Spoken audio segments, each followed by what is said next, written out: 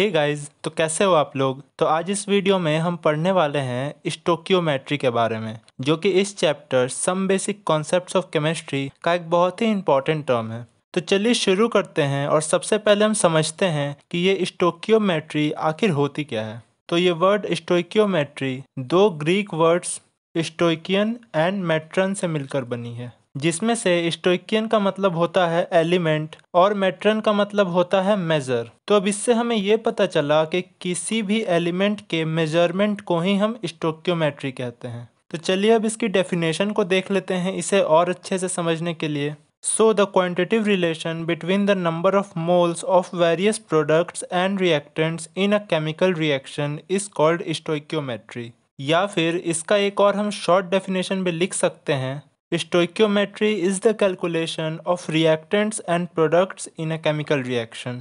यानी कि जो कैलकुलेशंस किसी भी रिएक्शन में रिएक्टेंट्स एंड प्रोडक्ट्स के बीच में होती है, उनके क्वांटिटेटिव रिलेशन यानी कि उनके मैस या फिर वॉल्यूम्स के बेसिस पे, उसे ही हम स्टोक्योमेट्री कहते हैं समझे बात को तो अब किसी भी स्टोक्योमेट्रिक कैलकुलेशन को करने के लिए हमें सबसे पहले उनके रिएक्टेंट्स और प्रोडक्ट्स को एक दूसरे से बैलेंस करना होता है। तो चलिए अब मैं आपको बताता हूँ कि किसी भी केमिकल इक्वेशन को जो कि बैलेंस्ड नहीं है ऑलरेडी उसे हम बैलेंस कैसे कर सकते हैं? तो अब ये कुछ केमिकल इक्वेशंस हैं जिन्हें आपको बैलेंस करना है। तो इसे हम कैसे करेंगे? अब देखिए ध्यान से।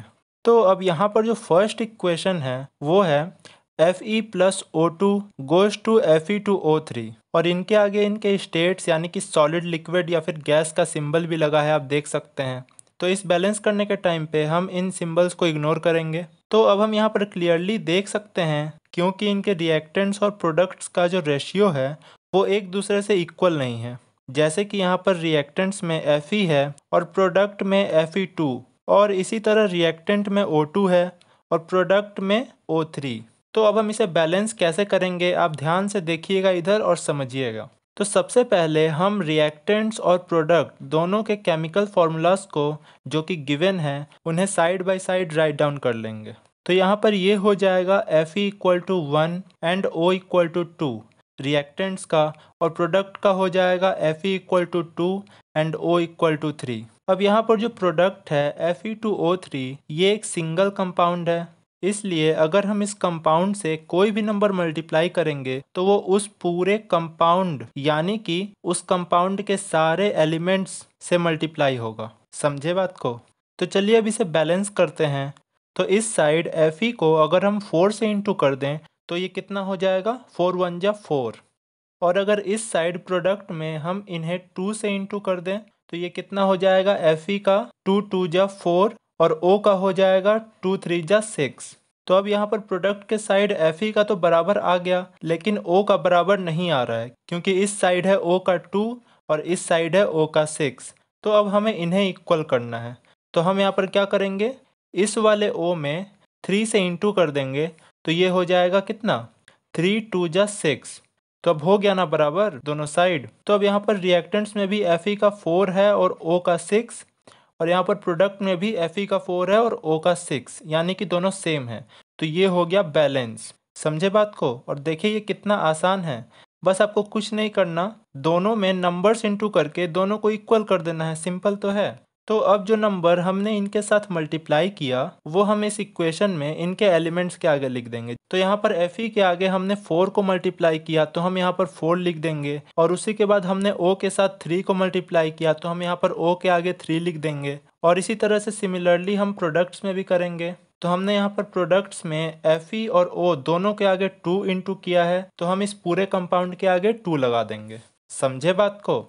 तो अब इसी तरह से और भी केमिकल इक्वेशंस को हम बैलेंस करेंगे। तो अब अगर इस सेकंड वाले को हम बैलेंस करें तो इसमें P इक्वल टू कितना है? यहाँ पर है P इक्वल टू फोर और इधर प्रोडक्ट में भी है P इक्वल टू फोर तो ये दोनों तो इक्वल है तो इनमें हमें कुछ चेंज करने की ज़रूरत नहीं। बट इसका जो सेकंड एलिमेंट है, वो रिएक्टेंट में O2 है और प्रोडक्ट में O10 है। तो अब हम क्या करेंगे? तो हम रिएक्टेंट के O2 को किससे मल्टीप्लाई करेंगे कि वो 10 आ जाएगा? किससे मल्टीप्लाई करेंगे? हम रिएक्टेंट के O2 को 5 से मल्टीप्लाई करेंगे, तभी वो आएगा 5 टू जा टेन और ये इक्वल हो जाएगा प्रोडक्ट के ओ से।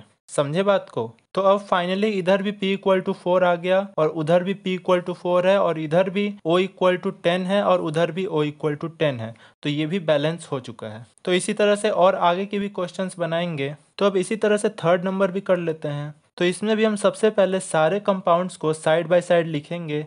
तो अब यहाँ पर रिएक्टेंट में फ़र्स्ट कंपाउंड सारा सेम रहेगा। सेकेंड कंपाउंड में हम O को फाइव से इंटू करेंगे और ये हो जाएगा फाइव टू ज़ा टेन अब प्रोडक्ट में भी रिएक्टेंट के अकॉर्डिंग नंबर्स डालेंगे।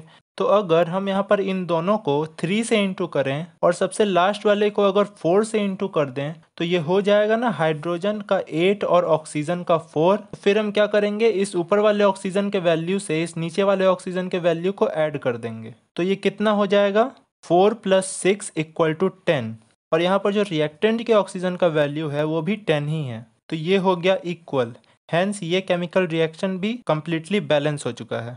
अब आपको एक और बात याद रखनी है कि इन इक्वेशंस को बैलेंस करने के लिए हम जो नंबर्स डाल रहे हैं इनके आगे, यानी कि जिन नंबर्स से हम इन्हें मल्टीप्लाई कर रहे हैं, इन नंबर्स को हम स्टोइक्योमेट्रिक कोफिशियंट कहते हैं, या फिर इन्हें हम मोल्स या फिर मॉलिक्यूल्स भी बोल सकते हैं। तो अब इसमें एक और लास्ट चीज़ आपको समझनी है कि हम इन रिएक्शंस के रिलेशन को वर्ड्स में कैसे लिख सकते हैं। और ये आपको आगे इससे रिलेटेड क्वेश्चंस भी सॉल्व करने में हेल्प करेगा। तो फॉर एग्जांपल हम एक इक्वेशन ले लेते हैं, जो कि है C H four plus two O two goes two C O two plus two H two O तो अगर देखा जाए तो इन्हें हम चार तरीकों से लिख सकते हैं वर्ड्स में। तो फ़र्स्ट है कि one mole of C H four reacts with two moles of O two to give one mole of C O two and two moles of H two O और जो सेकेंड वे है, वो है one molecule of CH4 reacts with two molecules of O2 to give one molecule of CO2 and two molecules of H2O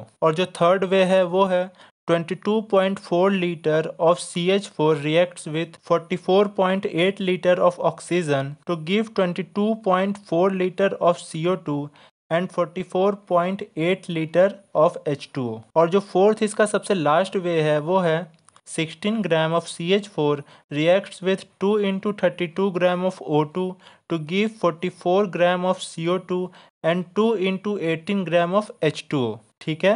तो इन चारों तरीके से हम इस रिएक्शन को वर्ड्स में लिख सकते हैं। तो अब जो हमारा नेक्स्ट टर्म है, वो है स्टोक्योमेट्रिक कैलकुलेशंस जो कि हम नेक्स्ट वीडियो में पढ़ेंगे। तो नेक्स्ट वीडियो की लिंक आपको डिस्क्रिप्शन में और ऊपर आई बटन में भी मिल जाएगी। तो आप वहाँ से जाकर देख सकते हैं डायरेक्टली उसे। और अगर वीडियो अच्छी लगे तो वीडियो को लाइक कर दें। कुछ अगर प्रॉब्लम हो या फिर सजेशन हो तो आप नीचे कमेंट में लिखकर हमें बता सकते हैं। और हमारे वीडियो को शेयर भी कर दें अपने क्लासमेट्स के साथ जिन्हें इस चैप्टर में प्रॉब्लम्स हैं। तो मैं मिलता हूँ आपसे नेक्स्ट वीडियो में। तब तक के लिए take care and good bye